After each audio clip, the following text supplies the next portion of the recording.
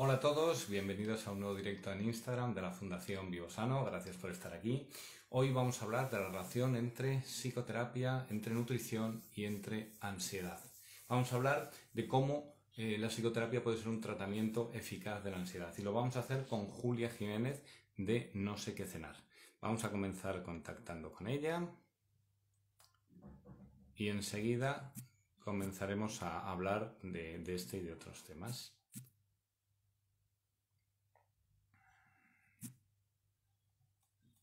Muy bien, como os decía, vamos a ver. Como os decía, vamos a, hablar fundamentalmente de, de ansiedad, de salud, de nutrición,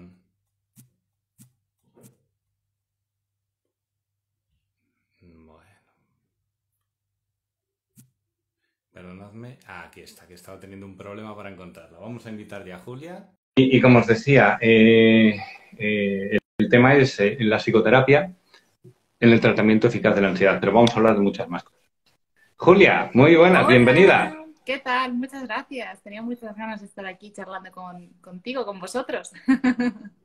Qué bien, pues es un placer enorme verte. Estaba comentando que hoy vamos a hablar de psicoterapia como tratamiento de la ansiedad, pero vamos a hablar de muchas más cosas. Vamos a hablar del efecto que tiene la ansiedad en nosotros, vamos a hablar de nutrición, vamos a hablar de, de muchos temas. Para los que no te conozcan, te voy a hacer una breve presentación. Eh, Julia Jiménez es fundadora y directora de la consulta de psiconutrición No sé qué cenar. Ahí cuenta con un equipo multidisciplinar de psicólogas, nutricionistas y también entrenadoras. Es titulada en dietética y nutrición.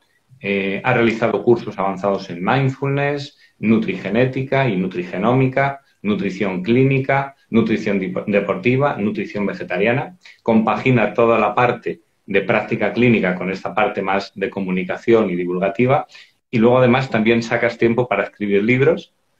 Tienes varios, el último de ellos es Otra nutrición es posible. Eso es. Y bueno, además de todo esto, que no es poco, desde luego, Julia es eh, ponente en el Congreso Alarma Ansiedad, que para los que no los conozcáis, lo voy a decir rapidísimamente antes de empezar ya, ya lo que es la entrevista en sí, os animo a que entréis en festivaldelansiedad.org y en esa página web vais a conocer una iniciativa en la que estamos trabajando. Eh, la organizadora es IXIE Ávila y desde la Fundación Biosano estamos apoyando para tener un lugar en el que se pueda hablar sin tapujos sobre la ansiedad, que es algo, como vamos a ir viendo a lo largo de la entrevista, mucho más común de lo que nos imaginamos. Vamos a encontrar testimonios, vamos a encontrar opiniones de expertos, tanto de psicólogos como de nutricionistas, como de médicos. Todo es gratuito, es un evento online, gratuito, y decimos también solidario, porque como luego profundizaremos con Julia, eh, va a haber un equipo de profesionales que va a realizar a personas que no tengan recursos tratamientos psicológicos para reducción de la ansiedad. Bueno, pues eh, después de, toda esta información, de nuevo, bienvenida Julia. Y si quieres, eh, pues por- hablando un poquito de, ti y de la labor que hacéis en, tu gabinete en No sé qué cenar. Estupendo. Bueno, eh, muchas gracias por la presentación. Como bien has comentado, eh, hoy nos une, o estos días nos une el Festival de la Ansiedad, ¿no? El Festival Alarma Ansiedad. Eh, que bueno, pues al final es, como bien has comentado, algo que, que- ha creado Ichi Ávila, que, es impulsado gracias a, la Fundación Vivo Sano, ¿no? Que está ahí detrás colaborando junto a ella y que es básicamente eh, un festival en el que mm, vamos a normalizar la, ansiedad, eh, porque la experimentamos todos en algún momento de la vida, pero hay mucho tabú, hay mucho miedo, hay mucha eh, vergüenza, ¿no? Y, también está, pues, eh, bueno, eh, infradiagnosticada y, mal o poco tratada, ¿no? Entonces, a través de este festival, que como bien has comentado es, es benéfico porque es gratuito, ¿no? Todo el mundo puede adquirir su entrada de forma gratuita, pues podemos beneficiarnos de un montón de ponencias, ¿no? Y experiencias muy chulas con personas de todos los ámbitos, ¿no? Con profesionales de la salud, con actores, cantantes, eh, que se posicionan, ¿no? Y que hablan abiertamente de la ansiedad y que brindan eh, ayudas, eh, herramientas. lo cual me parece maravilloso, ¿no? Porque, bueno, nunca había visto un festival de algo así, ¿no? O sea, algo tan, tan tabú y, de pronto pues estamos haciendo todo un movimiento con respecto a este tema. ¿Y, por qué cuento todo esto de nuevo? Bueno, porque yo estoy como ponente dentro del festival, justo a más de 60 personas increíbles, interesantísimas. Y además tengo la suerte de que, bueno, como, hemos mencionado, es un festival em, benéfico porque la entrada es gratuita, pero bien podemos adquirir un pase em, eh, solidario que sí que sería de pago y con este pase solidario podemos acceder a las ponencias eh, sin tiempo limitado todos los días, verlas todos lo que, todo el tiempo que queramos, ¿no? En lugar de verla exclusivamente en directo. Y con ese dinero, el 100% de los beneficios íntegros, vamos a pagar la terapia de un montón de personas que sufren de ansiedad y que, y que bueno, que, que, no se pueden permitir esa terapia psicológica que desgraciadamente no es algo que, bueno, que, esté en la sanidad eh, pública eh, y de manera normalizada y sea fácil acceder a ello, ¿no? Entonces, es muy chulo porque por una parte yo estoy como ponente, pero por otra parte todo el equipo de psicólogas que conforman No sé qué cenar, que por si, bueno, para los que no me conozcan o no sepan muy bien cómo trabajamos en No sé qué cenar. Somos un equipo de ocho mujeres eh, empoderadas con muchas ganas de, cambiar eh, el mundo, ¿no? Con toda la intención y todo el amor. Y somos un equipo de nutricionistas, de psicólogas, de entrenadoras que abordamos la salud de manera holística y precisamente las cuatro psicólogas del equipo No sé qué cenar son cuatro de las psicólogas que estarán eh, ofreciendo esos servicios de psicoterapia para todos los beneficiarios de este festival solidario, ¿no? Lo cual es, es como la leche porque todas aportamos eh, de la manera en la que podemos ¿no? en este festival. Y me encanta porque es para todo el mundo, todo el mundo se puede beneficiar, eh, si no puedes aportar económicamente también puedes disfrutarlo y hay un montón de personas que, que, bueno, que van a poder solucionar un problema como es la ansiedad que tan, tan limitante, ¿no? Que, que, les, que les vamos a cambiar la vida, ¿no? Entre todos.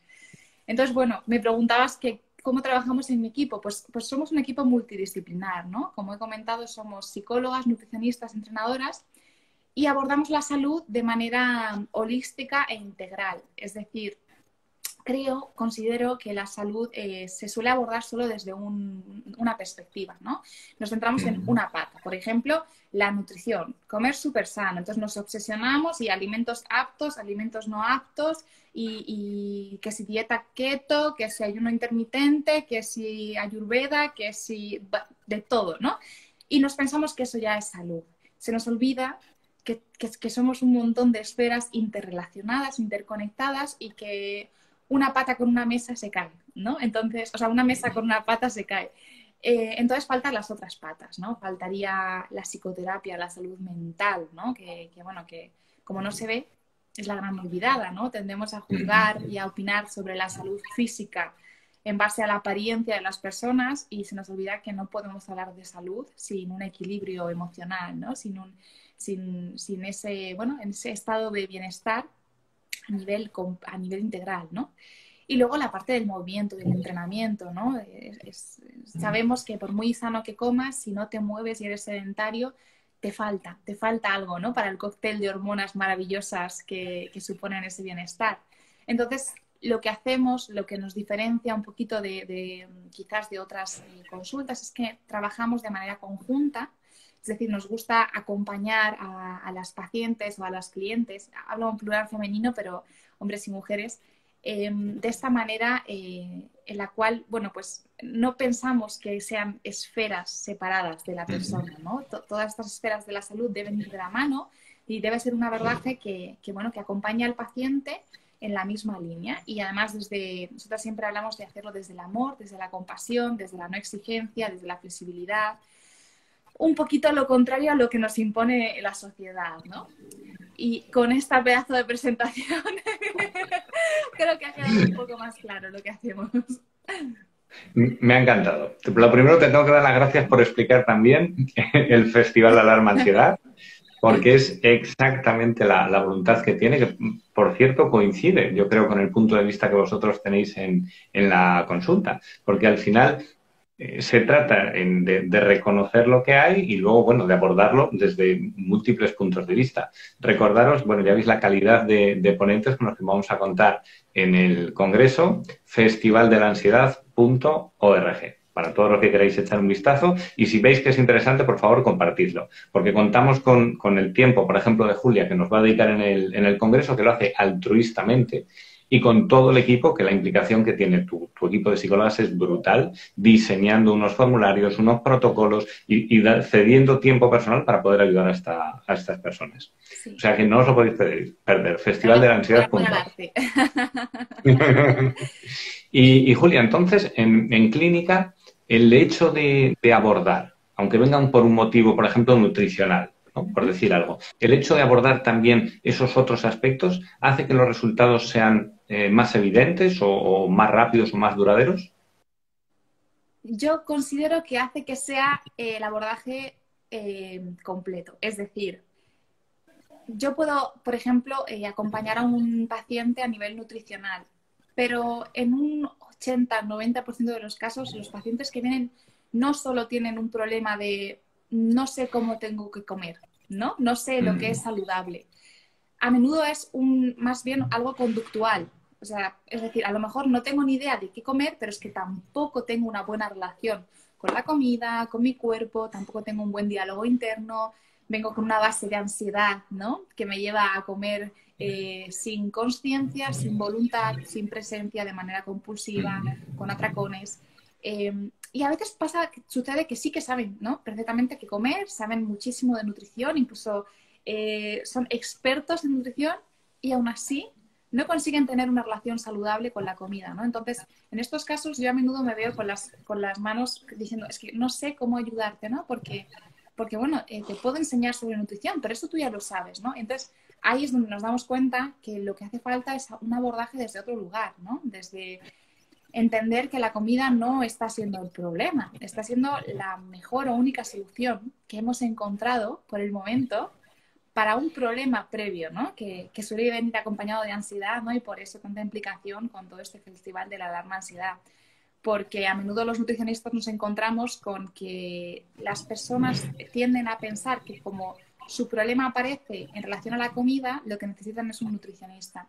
Y muchas veces sí, ¿no? Muchas veces sí, es importante, pero debe ir acompañado, por supuesto, de esa ayuda eh, de un psicólogo, un psicoterapeuta que aborde la otra parte, ¿no? Entonces, creo que al final más que conseguir un resultado más rápido, más es que conseguimos solucionar el problema, ¿no? Porque a menudo, pues sí, eh, yo puedo dar unas pautas, puedo eh, elaborar la dieta perfecta para una persona en base a sus necesidades, en base a, que a las 8 hace karate, a las 9 hace tal, pero si esta persona tiene un problema conductual, tiene una mala relación con, con, eh, su cuerpo, con la alimentación, tiene problemas internos en su vida que no ha podido solucionar, de nada sirve tener la, herramienta perfecta si no tenemos la energía y la disposición para poder utilizarla, ¿no? Entonces, de ahí este abordaje y también el entrenamiento, ¿no? Eh, nuestra entrenadora del equipo está muy enfocada a mujeres que, bueno, pues que tienen una relación complicada con el deporte o el entrenamiento porque o bien les da vergüenza o consideran que tienen que tener primero un cuerpo atlético para empezar a hacer deporte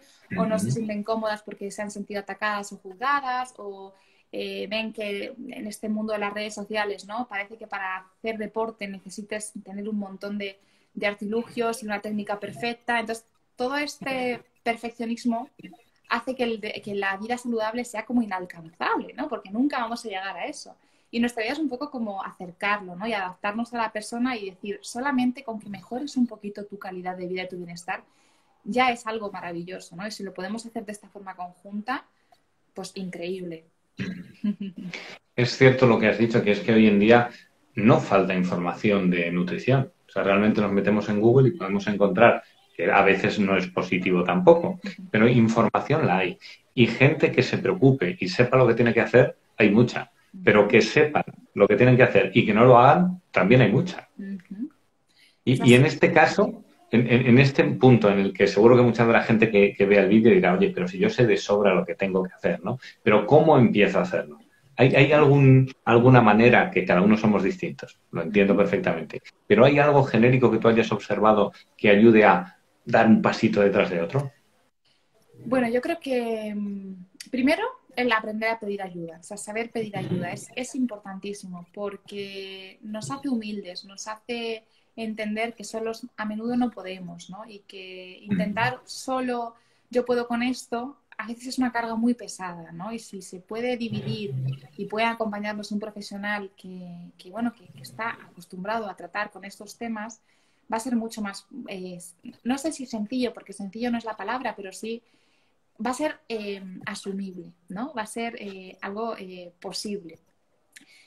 más allá de eso, mm, yo animo a las personas a, a, empezar a hacer un lenguaje más compasivo, eh, a, llevar los hábitos saludables con más flexibilidad, no buscar el perfeccionismo, no, no tener como objetivo eh, lo que vemos en redes sociales porque no es verdad, es solo una cara de lo que queremos mostrar, ¿no? Incluso eh, yo considero que, que, mm, que, bueno, que soy bastante honesta o me gusta tener una relación saludable con las redes sociales y, y, hacerlo de manera transparente y aún así hay días que estoy que sin ánimos de compartir, no subo stories, entonces ya cuando subo stories es cuando ya estoy con ánimos, lo que puede llegar a hacer pensar que yo siempre estoy con ánimos, siempre tengo energía, siempre estoy entrenando, ¿no? Me, han comentado muchas veces y yo siempre desmitifico esto, ¿no? Es que como tú entrenas todos los días, digo, no, no entreno todos los días, pero cuando entreno lo subo. Hay veces que entreno y no lo subo, pero tú ves que cuando yo entreno lo subo. Entonces, eso te lleva a pensar que yo soy todo lo que yo subo. Si yo solo subo cuando entreno cuando canto y bailo de buen humor y cuando divulgo, tú te vas a pensar que yo soy una persona que está todo el día entrenando, cantando y divulgando. y no es verdad, ¿no? Porque a lo mejor estoy tirada en el sofá echándome una siesta y no subo una story para decir, oye, que estoy aquí echándome una siesta, ¿no? Entonces, es, importante tener esto presente y, bueno, pues sencillamente alejarnos de ese lenguaje de la, de la exigencia, el sacrificio. Eh, yo, yo, conozco este lenguaje, vengo de ahí, o sea, yo, yo, yo he venido de, de ese, bueno, eh, exigirme cada día más y perfeccionismo. Y cuando yo empecé a estudiar nutrición, venía mucho desde el mundo de, de la nutrición deportiva, del fitness, de, eh, pues me, me, me, llamaba mucho la atención poder dedicarme al alto rendimiento. Y con el tiempo dije, hey, hey, hey, a lo mejor esto no es lo que, lo que me hace feliz y no es la mejor forma de ayudar a las personas. ¿no? Entonces, cambiar un poquito ese concepto de salud y ese diálogo interno y diálogo, y, diálogo en general, ¿no? Es, esa conversación en torno a la salud que hay en la sociedad. Totalmente, es lo que tú dices. Yo lo veo en mis sobrinos, por ejemplo, que tienen 15 años y están todo el día pegados a las redes, en Instagram, y es lo que tú dices, parece que todo es perfecto, o sea, todo es bonito. Y llega un momento que, parece que tienen que estar a ese nivel ficticio, absolutamente.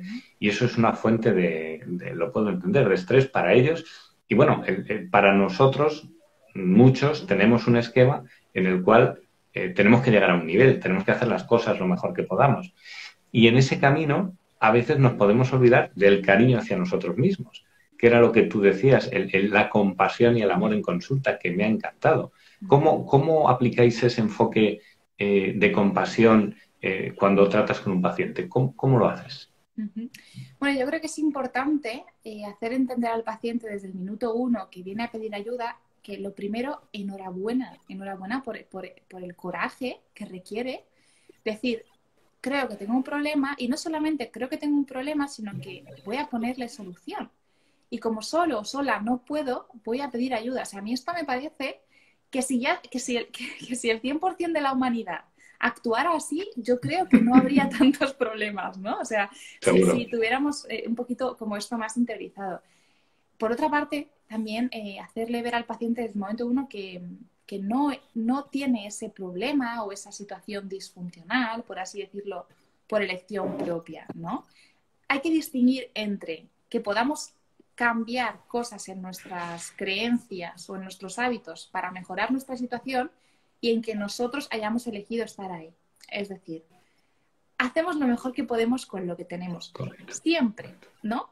Lo que pasa es que a lo mejor en el momento de acudir a la consulta no tenemos determinada información, no tenemos determinadas herramientas, no nos han enseñado que podemos amarnos ya aquí y ahora por lo que somos, sino que hemos visto constantemente que tenemos que sacarnos una carrera, luego además que, nuestra trayectoria profesional sea de éxito, luego además que, que, los demás nos validen, que nuestros padres nos den nuestro reconocimiento, que todo una carrera constante que no tiene fin, ¿no? Entonces, en el momento en el que explicamos, oye, que, que tú lo estás haciendo lo mejor que puedes con lo que tienes. Lo que pasa es que a lo mejor no te han explicado esto. A lo mejor tú no tienes estas herramientas. Cuando la persona empieza a incorporar esto y a, y a, cuestionar muchas creencias ¿no? que vienen de, experiencias del pasado, de, traumas, de, bueno, de, todos tenemos traumas y heridas, ¿no? En mayor o menor medida.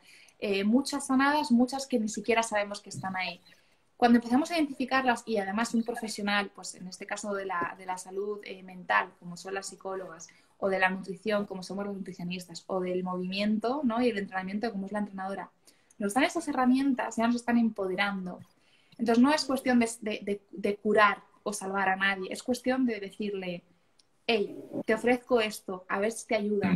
No, no te voy a dar eh, respuestas, pero quizás te ofrezco algunas preguntas y poco a poco, entre lo que yo te puedo dar y todo lo que tú ya traes, empezamos a partir de otro lugar. Entonces, entender esto, que siempre hacemos lo mejor que podemos con lo que tenemos y que nuestro yo del pasado no era más tonto, ni era inútil, ni quería autosabotearse y hacerse daño, sencillamente estaba sobreviviendo como podía, ¿no? Y creo que este enfoque es muy importante. Veo muchos profesionales eh, de la salud en redes sociales, incluso personas que no son profesionales de la salud en redes sociales y hablan de alimentación o hablan de lo que sea, hablando mucho de es que si no lo haces es porque no quieres, es que el que mm, quiere se pone, es que querer es poder, es que ya, ya, ya, tendré tiempo para dormir cuando me muera, ¿no? Todas estas, estas cosas. Y al final creo que, que una cosa es responsabilizarnos ¿no? de, nuestros, de nuestra situación y otra cosa es culpabilizarnos, ¿no? porque no todos hemos tenido las mismas experiencias, no todos tenemos los mismos recursos, eh, bueno, no solamente a nivel económico, ¿no? sino a, nivel emocional, ¿no? no todos tenemos la misma, ya no inteligencia emocional, sino educación emocional, porque la inteligencia emocional es algo que puede desarrollarse no, no todos sabemos identificar y, nuestras emociones y gestionar nuestras emociones. Y esto es algo que se aprende, ¿no? Pero ¿cómo lo vas a aprender si nunca un, terapeuta te ha ayudado, ¿no? Entonces, pues esto es lo que intentamos hacer, ¿no? Una mirada un poco más compasiva y amorosa hacia nosotros mismos y hacia los demás. Porque esta es la magia que sucede, que cuando nos empezamos a perdonar, nos damos cuenta de que los demás tan solo son otras personas con heridas de la infancia que lo hacen lo mejor que pueden y empezamos a ser menos duros con los demás porque nos vemos en ellos, ¿no? Qué bueno, qué bonito y estoy absolutamente de acuerdo. Al final te tratas como tratas a los demás. no, no estamos parcelados, tenemos una forma de entender la vida, de entendernos a nosotros y a los otros y, muchas veces somos duros con todos, somos duros con los demás, pero los primeros con nosotros mismos. Y muchas veces si miramos para atrás, lo que tú dices, nos damos cuenta, oye, qué tontería hice en aquel momento, pero fue lo mejor que pude hacer. Nadie elige sufrir voluntariamente. Si nos ocurre, pues es porque no teníamos otros, otros recursos. Y desde esa perspectiva me parece magnífica, porque al final no está reñida con la responsabilidad, como tú dices. O sea, el, último garante de, la vida es uno mismo, pero hombre, no hay que culparse. Eh, desde esa eh, aproximación, eh, en, la gente que ves en consulta, si tuvieses que hablar de la carga o de la importancia que tienen ansiedad o, procesos similares a la ansiedad, ¿qué dirías? ¿Es algo frecuente? ¿Es algo poco frecuente? ¿Impacta mucho en, la vida de, las personas? ¿Qué, opinas? Bueno, yo diría, eh, basándome en mi experiencia, en lo que veo tanto en consulta como quizás en redes sociales, es que prácticamente detrás de toda relación eh, disfuncional con la comida eh, hay un origen de ansiedad. Prácticamente en todas. Sí, sí, prácticamente. Porque, bueno. E, evidentemente cada persona es un mundo y cada persona viene con sus circunstancias y algunas personas vienen con la etiqueta de un trastorno, otras no, pero haya o no una patología asociada, sí que suele haber ansiedad. Eh, porque la ansiedad nos suele llevar a una relación disfuncional con la comida y por lo contrario. Porque cuando tenemos una relación disfuncional con la comida, esto nos causa ansiedad porque es algo que, que, no, que no podemos controlar, que sale de nuestro, sí, que sale de nuestro control, que, que, que, decimos, pero ¿por qué no soy capaz de hacer esto bien? Si yo ya sé cómo tengo que comer, lo que decía antes, ¿no? Si yo ya sé lo que es, lo que es saludable, si yo ya sé que esto no lo tengo que hacer, pero ¿por qué lo hago, ¿no? ¿Y, por qué no puedo evitarlo? Entonces, bueno, eh, al final sí, me atrevería a decir que, la ansiedad es algo que está asociado eh, en relación disfuncional con la comida prácticamente en todos los casos. Y incluso en personas que no desarrollan una relación disfuncional con la comida, eh, pero sí conductas quizás excesivamente controladoras, excesivamente perfeccionistas. Eh, ¿Qué sucede cuando no pueden llevar a cabo ese control meticuloso? Ansiedad, ¿no? Porque como estoy habituado a que las cosas tienen que ser así y así es como yo me siento cómodo y este es el objetivo, cuando no lo puedo controlar todo, que spoiler, no podemos controlar nada, podemos gestionar eh, el momento presente, pero no podemos controlar el futuro ni todo lo que sucederá.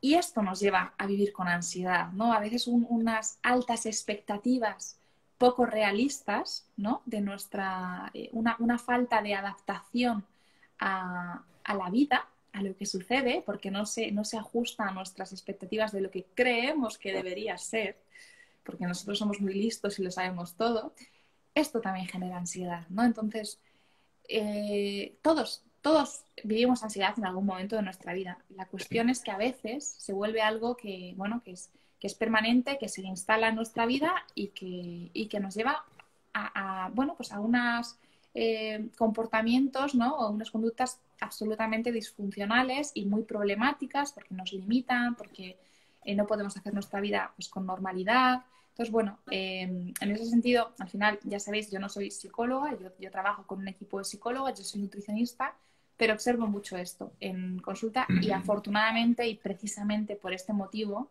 fue por el que dije, mm, yo no puedo pasar consulta de nutrición sola, porque no puedo ayudar a las personas solo desde mi enfoque. Y no puedo confiar en que esta paciente le diga, sí, ve a terapia, entonces vaya a buscar terapia en otro lugar y esta, este enfoque eh, sea desde este lugar de amor y respeto que, yo, que yo, bueno, siento que necesito ofrecer. Y para mí, eh, yo he empezado a trabajar bien en el momento en el que he podido contar con un equipo multidisciplinar, porque no asumo una responsabilidad que no me corresponde y porque puedo hacer mucho mejor mi trabajo porque estoy segura y consciente de que las otras partes se están haciendo también, ¿no? Totalmente. Al final lo que dices de intentar controlarlo es, es un acto, yo creo que de madurez y de humildad, decir, oye, pero si es que yo no controlo nada o sea, yo puedo controlar lo que yo hago, puedo influir en las situaciones, pero seamos realistas. ¿Qué, control? O sea, hemos visto el COVID. Creíamos que teníamos controlado el mundo, creíamos que teníamos todo pensado y ha arrasado con todo. ¿Qué controlamos? No podemos controlar lo que sucede, podemos decidir cómo reaccionar ante lo que sucede. Pero es que quién sabe lo que va a suceder dentro de aquí a dos. Igual de aquí a diez minutos se nos va a internet y se corta el directo, ¿no? Y de pronto, ¡Ah! no, se ha cortado el directo, yo tenía todo controlado. No, o sea, podemos, podemos decidir eh, ya, con mayor o menor nivel de conciencia, ¿no? Según también cómo, cómo eh, nos hayamos trabajado, ¿no? Cómo reaccionar eh, o, o actuar con conciencia ante lo que sucede ahora. Pero controlar, no podemos controlar, ¿no? Totalmente. Pero hace falta valor, como, como tú dices, para, para, admitirlo y decir, oye, yo con todo lo que trabajo, con todo lo que he estudiado, con todo, sí, todo lo que tú quieras, no controlas. Es que, es que las cosas son, son así en, la vida. Y el hecho, eh, Julia, de, de, ponerlo, de verbalizarlo, de ponerlo en común, de admitirlo, porque al final, eh, a mí me gusta decir que de cerca todos somos muy raros. O sea, es que todos tenemos nuestras cosas. Entonces, el hecho de, como vamos a hacer en el festival, que la gente lo cuente y que diga, oye, a mí también me ha pasado. Y gente con, una visibilidad pública y, de muchas esferas, ¿no? Y que digan, oye, que es que yo estaba así o que yo estoy así. El mero hecho de compartirlo, ¿tú crees que tiene un impacto positivo? Bueno, sin lugar a dudas. Eh, de hecho, yo trato de basar mi comunicación y mi divulgación en redes desde ahí, desde, hey, que yo he estado en la mierda. yo me he regozado ahí. he estado mucho tiempo. De vez en cuando, eh, incluso mm, vienen momentos en los que recordatorios, ¿no? Que te dicen, hey, que esto, esto puede suceder o esto sin lugar a dudas, ¿no? Tú dices que de cerca todos somos muy raros, me ha gustado la expresión, yo digo que todos tenemos tarita, todos tenemos tara, ¿no? Cada uno en un lugar diferente, cada uno la oculta mejor o peor, pero todos tenemos tarita. Entonces, en el momento en el que hablamos con normalidad de esto, y, creo que es importante a nivel de figuras públicas, como sucede en el festival eh, Alarma Ansiedad, a nivel de redes sociales, como puede suceder con determinados influencers, em, es muy positivo para todas las personas que lo ven, porque dejan de pensar que yo soy raro, yo soy incapaz, yo, yo estoy incompleto, yo no... Eh, todo el mundo feliz, todo el mundo con ilusiones y tal, y yo aquí eh, auto boicoteándome haciéndome la vida imposible. No, eh, al final todos tenemos eh, momentos en los que estamos quizás más, bueno, más perdidos, en los que necesitamos ayuda, en los que estamos con más ansiedad. A veces son momentos puntuales en el día, a veces son temporadas en nuestra vida y esto es normal. O sea, la persona que diga que nunca ha tenido mm, ha tonteado por un trastorno mental o, ha tenido así algún tal, miente, miente porque sencillamente eh, así es el cerebro humano, ¿no? O sea, no estamos, el cerebro no está diseñado para la felicidad, está diseñado para la supervivencia, ¿no? Y esto implica buscar constantemente posibles problemas y encontrar posibles soluciones. Y a veces encontramos problemas donde no los hay porque es nuestro cerebro trabajando para nuestra supervivencia y, esto, pues, no nos aleja, o sea, no nos acerca a la felicidad ni al bienestar. Teóricamente nos, nos acerca a la supervivencia, pero cuando los problemas no son eh, peligros em, reales, o bueno, no me gusta decir real porque parece que te lo estés inventando, ¿no? Pero no son peligros potenciales, ¿no? De cuestión de vida o muerte, pero tu cerebro los identifica como tal, pues al final desarrollas eh, una ansiedad, desarrollas eh, estrés, desarrollas, bueno, diferentes mecanismos que pueden no ser adaptativos, ¿no? Y que pueden ser muy problemáticos. Y esto nos ha pasado a todos y nos va a pasar a todos, por mucho que nos trabajemos y por mucho que tengamos mil recursos. Y eso es tremendamente liberador. ¿eh? O sea, el decir, mira, sé que voy... yo eh, muchas veces hablando con amigos, digo, yo pensaba pues a los 15, a los 20, digo, mira, esto llega un momento en que maravillosamente tú te estabilizas y todo va solo, ¿no? O sea, tú trabajas, pues eliges si quieres tener una familia, tienes tus amigos, tal, y de repente todo va genial. Bueno, pues ya me he dado cuenta que no es así y que la vida es una sucesión de problemas hasta que se termina y que probablemente en la solución de esos problemas está el crecimiento. En esas taras que nos hacen diferentes a cada uno, seguramente sea donde tenemos que encontrar ese desarrollo. Efectivamente, yo, yo considero que al final son, bueno, pruebas, ¿no? Que, que nos va poniendo la vida, que vamos aprendiendo y que si no nos aprendemos, nos la va a poner la vida otra vez y otra vez y otra vez hasta que te la aprendas. Y cuando tú ya te la aprendas, no te creas que ya está ahí, viene la siguiente, ¿no? Entonces es, un, bueno, es un entrenamiento, es un, es un juego, es, llámalo como quieras, con la connotación que quieras, pero al final el problema no es, oh Dios mío, ha aparecido esto, ¿no? Es más bien el, ok, ha aparecido esto, no es lo que más me gustaría del mundo, pero ¿qué voy a hacer yo con mis recursos internos? Y si esto me desborda, oye, voy a pedir ayuda, ¿no? A mí me parece que, como te comentaba al principio, es, un acto de mucha valentía. A mí me ha costado mucho tiempo aprender a pedir ayuda porque mm, he tenido y en ocasiones tengo un ego al que no le gusta reconocerse vulnerable, ¿no? Y que, y que le gusta sentirse eh, una mujer fuerte y, capaz. Y, y, sí, puede ser fuerte y precisamente desde esa fortaleza eh, aprender que, oye, somos humanos, ¿no? Y somos, somos por naturaleza seres sociales interdependientes, ¿no? Esto de, no, la autonomía, yo solo puedo. No, ni, ni dependencia ni, ni independencia, interdependencia, ¿no? Entonces, empezar a comprender este concepto y entender que saber pedir ayuda y, decir, una llamada a un amigo, ¿no? Oye, que necesito tomarme un café, charlar de esto.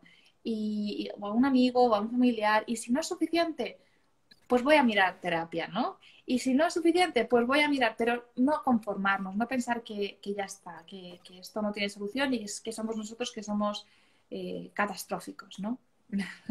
Totalmente. Y luego el mapa que se utiliza yo creo que influye mucho. Es decir, si se entiende la vida, como tú decías, como un juego, porque al final yo veo a mis chavales jugar a, la Switch y, tienen retos, ¿no? Van avanzando, el personaje va haciendo cosas para llegar a determinados. Y la vida es un poquito así. Entonces, si la concebimos como, como una losa, Dios mío, otra vez este problema, al final el problema va a estar igual ahí y te lo vas a comer igual.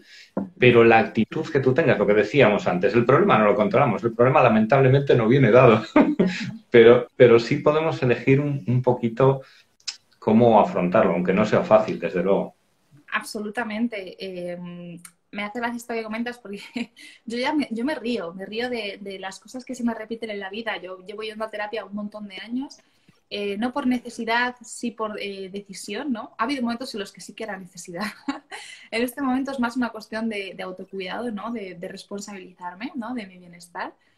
Y yo me río con mi psicóloga ya, hay mucha confianza, y le digo, es que eh, ya, ya, veo yo esto venir, y es que me doy risa yo a mí misma de cómo, de, de bueno, pues de, cómo mis, mis, talones de Aquiles, ¿no? De cómo mis tancadillas, y tomárselo con ese humor, ¿no? De, no, no, ¿qué, ¿qué pasa? ¿Que no soy perfecta? Bueno, vaya sorpresa, ¿no? Entonces, vivirlo desde ahí. Y creo que mmm, dos cosas muy interesantes para añadir a esta fórmula, ¿no? De, de vida por lo menos a mí me acompañan y me aportan muchísimo.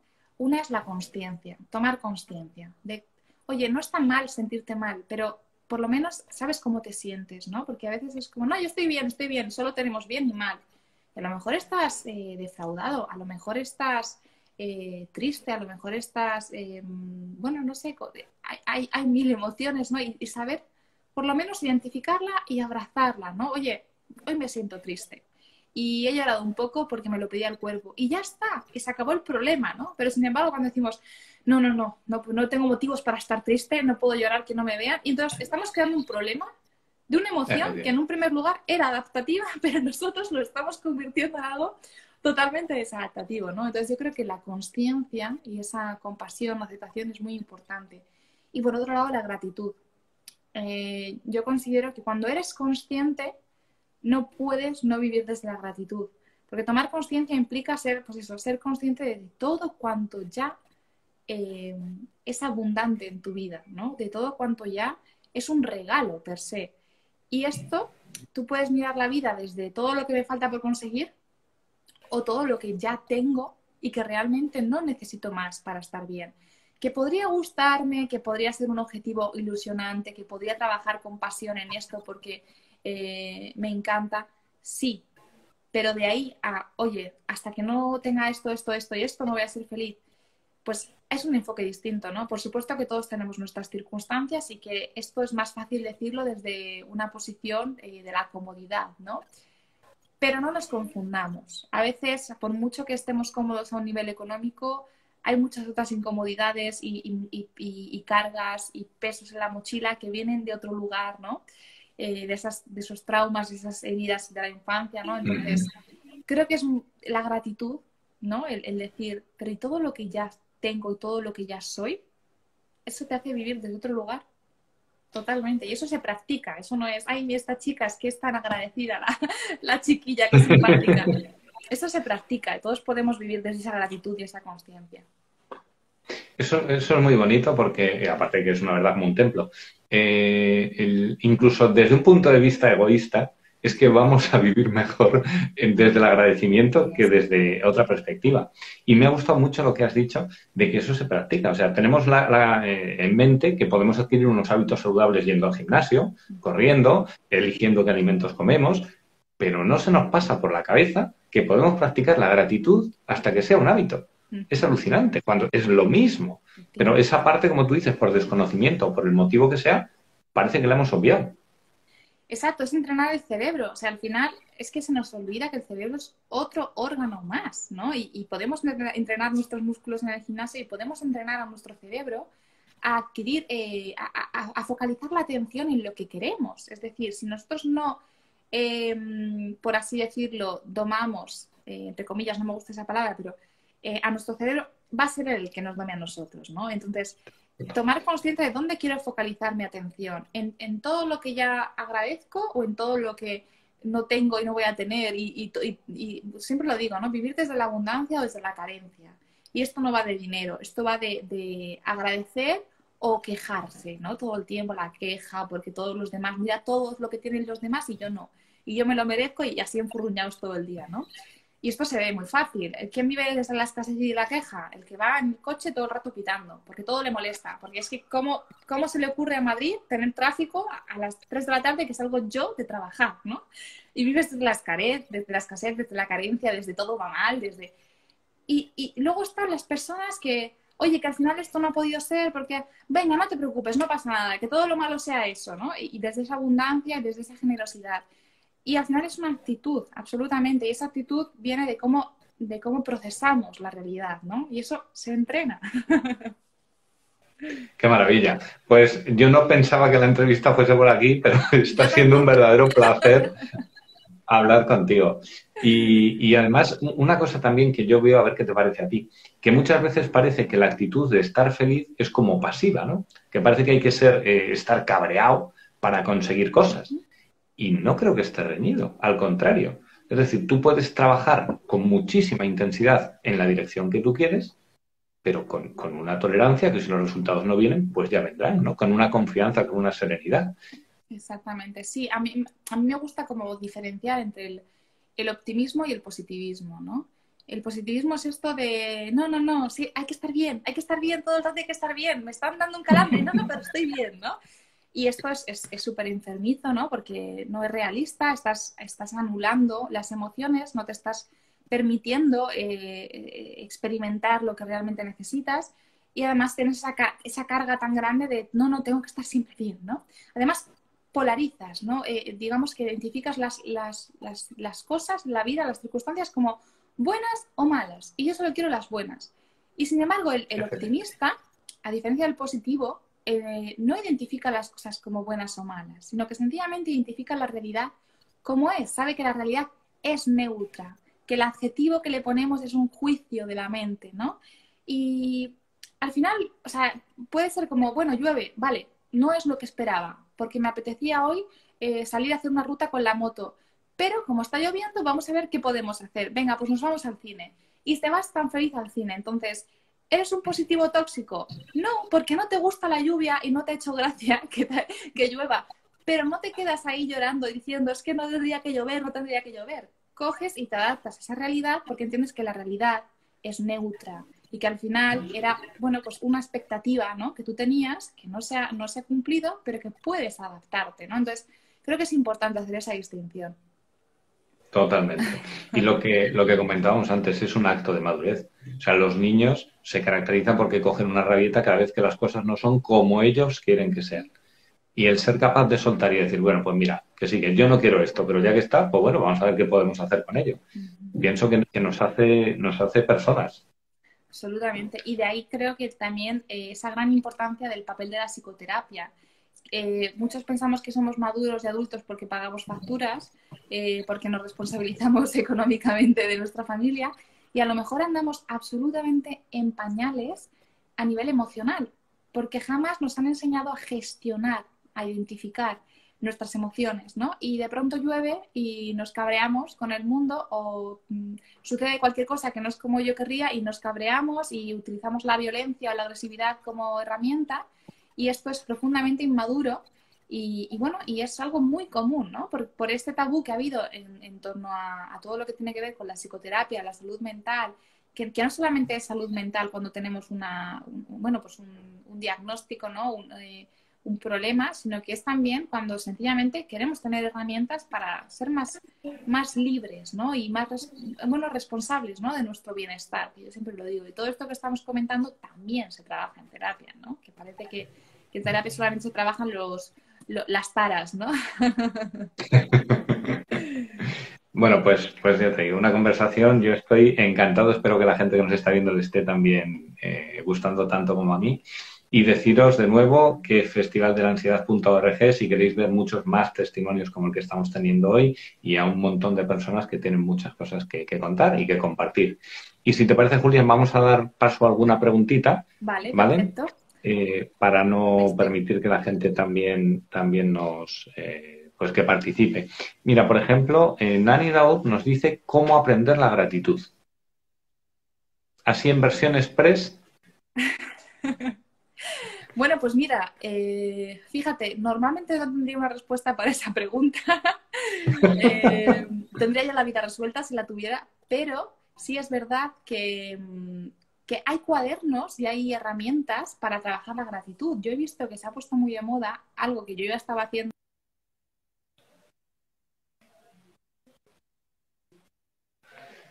Parece que ha habido precisamente algún problema. Aquí estamos otra vez, Julia. Perdón, sí. Em, pues existen diferentes cuadernos y herramientas para trabajar la gratitud. Yo lo hacía con un cuadernito que tenía y apuntaba cada día eh, cuatro o cinco cosas por las que me siento agradecida, intentando no repetir e intentando que sea algo honesto, es decir, eh, si lo que me sale es me siento agradecida por, mm, no sé, la, paz en el mundo, pero eso no es honesto, no lo escribo. Pero si me siento agradecida porque he llegado con mucho frío en la calle he podido poner la calefacción y enseguida entrado en calor, pues lo escribo, ¿no? O sea, cosas que de verdad sean honestas y que, que no es de cara a nadie, es de cara a internamente por qué me he sentido agradecida hoy. A veces son cosas muy superficiales, pero son igual de, válidas, ¿no? Y esto, escribirlo todos los días, ayuda a tomar conciencia de todo lo que puedes agradecer en tu vida. Y no solamente eso, sino que cuando te sientas un poquito, bueno, pues que te dices, hoy no tengo nada, no tengo una mierda, con perdón, que agradecer porque ha sido un lío de mierda. Coges, lees todo lo que has escrito otros días y dices, joder, soy una persona súper afortunada. O sea, es que realmente tengo una vida, em, tengo una vida en la que tengo todo lo que necesito, ¿no? Y eso te ayuda eh, igual que cuando estás triste, te viene tu amiga o tu amigo te dice, pero si eres la leche, si no sé qué, y te lo dice, pues cuando lo lees de ti mismo dices, es que es verdad, ¿no? Todo lo que tengo que agradecer, todo lo que... Entonces, bueno, em, al final, estas, estas herramientas que son muy sencillas, ¿no? Como escribir lo que puedes hacerlo por tu propia cuenta o, o comprando estos cuadernos que ya te venden, que se llaman diarios de gratitud, y esto se practica. Y al final, cuando tú ya has entrenado la mente a hacerlo, aunque tú no tengas el cuaderno, tú vas por la calle y te acuerdas porque luego lo voy a apuntar en el cuaderno. Y eso sucede. O sea, a mí me pasa que de pronto voy y digo, ay, ay, esto lo voy a apuntar hoy, que esto, esto es para sentirme la leche de agradecida, ¿no? Entonces es un hábito, es un hábito. Y es así, ¿no? Que parece muy eh, happy flower, pero es que es real.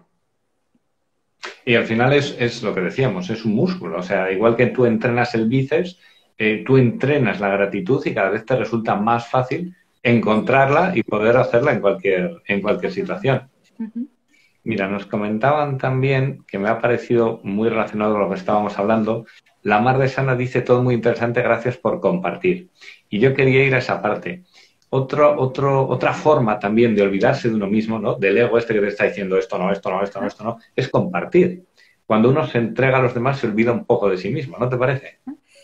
Sí, y te diría una cosa. Em, yo creo que cuando, o sea, al final pienso que cuando nos damos a nosotros, o sea, eso y lo contrario también, es decir, cuando nos damos a nosotros mismos, cuando nos cuidamos, es imposible no querer dar y cuidar a los demás. Yo siempre digo que una persona que está bien quiere que los demás estén bien, busca ayudar a los demás. Sin embargo, las personas que están heridas, están sufriendo, que están sobreviviendo, que todo les sale mal, les paran un segundo por la calle para pedirles algo, anda, vete a la mierda, ¿no? Que bastante tengo yo con lo mío. Entonces, las personas heridas, eh, si no sanan esa herida, van a tener esa tendencia a herir, con o sin conciencia, ¿no? Por mucho que sean buenas personas, yo, yo creo que al final todos tenemos el potencial de ser buenas personas, pero si estamos pasando por un momento difícil, es muy complicado que si no somos capaces de ayudarnos a nosotros, vayamos a sacar la energía y la disposición para poder ayudar a los demás.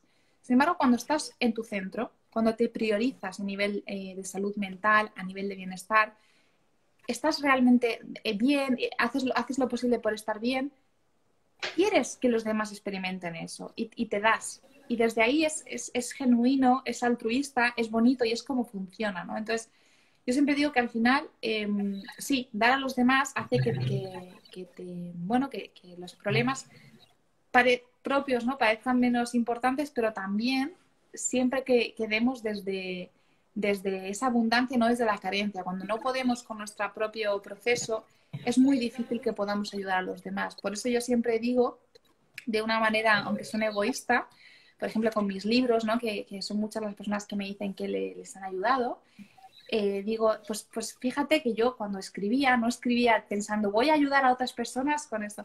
Yo escribía para sanarme, ¿no? Escribía para, para tratar de, de, hacer terapia. Y solo desde ahí, porque es honesto, porque es genuino, porque es con amor, creo que se, se puede ayudar a otras personas, ¿no? Es decir, cuando, cuando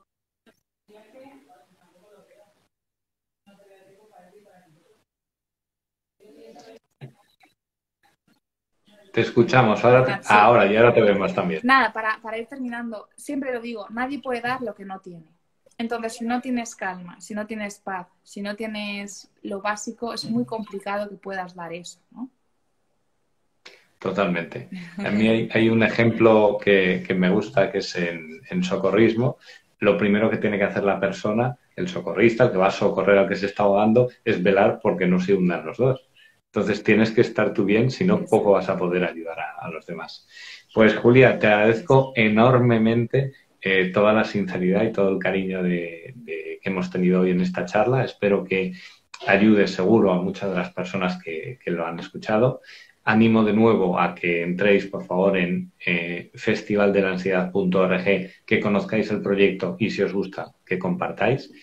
Y no sé si hay alguna idea final, Julia, que te apetezca compartir o que quieras comentar o lo que tú quieras. Bueno, perdón, antes de eso, eh, ha, habido personas que preguntaban si podían pasar consulta eh, contigo.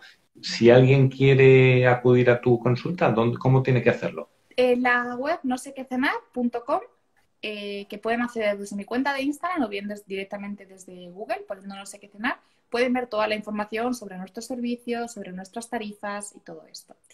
Y, nada, pues para terminar, lo primero agradecerte este, este espacio, ha estado muy a gusto y ha sido súper agradable conversar contigo.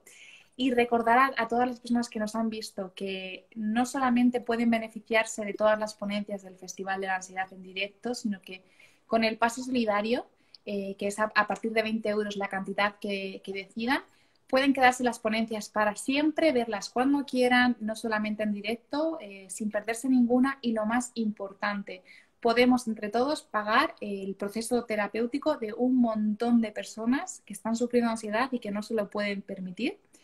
Em, y desde mi equipo de, No sé qué cenar, todas las psicólogas estarán encantadas de poder hacer esta, esta labor.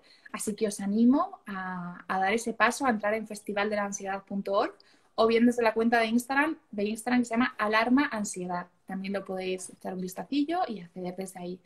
Así que, bueno, ya sabéis que si os ha gustado este ratito de charla, tenéis una ponencia conmigo también dentro del festival, que también promete, porque Ichi y yo hablamos de un montón de cosas interesantes. Perfecto, Julia. Pues muchísimas gracias. Te vemos en el festival del 5 al 9 de mayo. mayo eso es. y, y de nuevo, muchísimas gracias por compartir y a todos vosotros os esperamos en más directos en Instagram y en festivaldelansiedad.org. Gracias a todos y gracias a Fundación Vivo Sano por hacerlo posible. Un placer. Muchas gracias. Cuidaos mucho. Hasta luego. Cuidaros.